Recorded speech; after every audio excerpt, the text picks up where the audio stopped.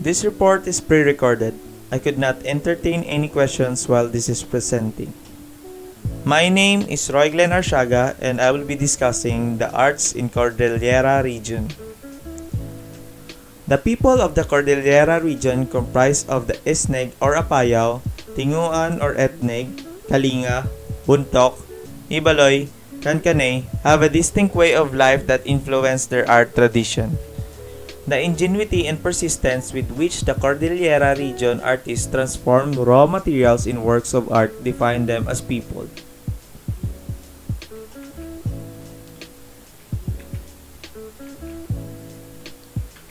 Their primary works are in the form of woodcraft.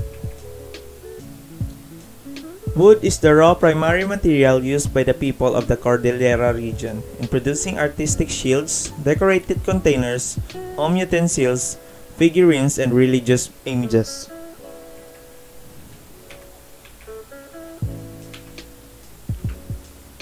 Bamboo is also used together with clay, bronze, or brass. Iron is a necessary material in making spears and head axes.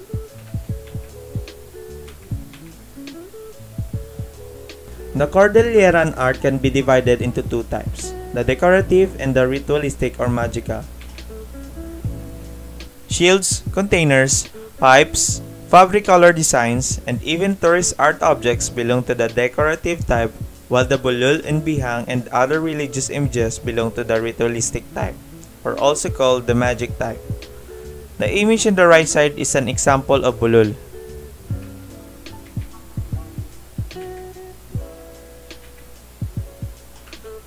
Arts in the Cordillera region, especially wood carving, can be generally characterized as highly representational of human and animal form.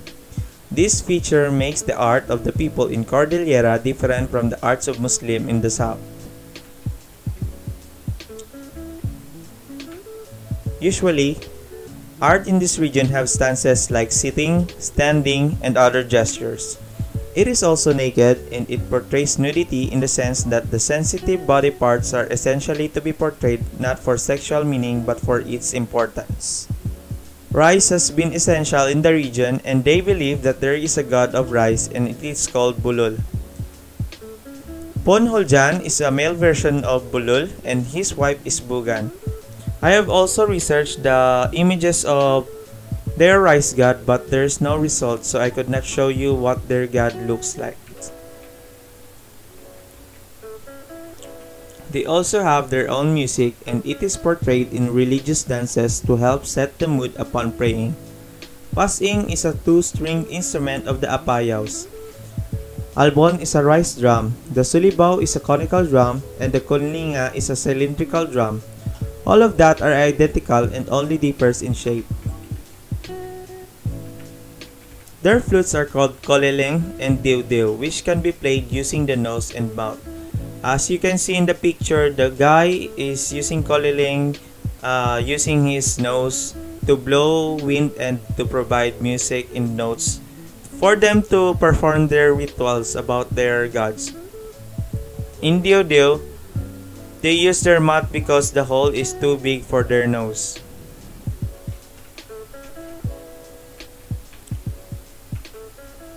Percussion instruments are gansa and bongabong where it can be played by drumming or plucking the instrument. So this type of instruments is very common to us as we can see we used to play this in our high school during the festivals like Kalimudan Festival or the Tinalak Festival. Uh, it can produce sounds by drumming it and plucking it. So the only difference is that the way on how they play the instrument and how they use it as a base for their music.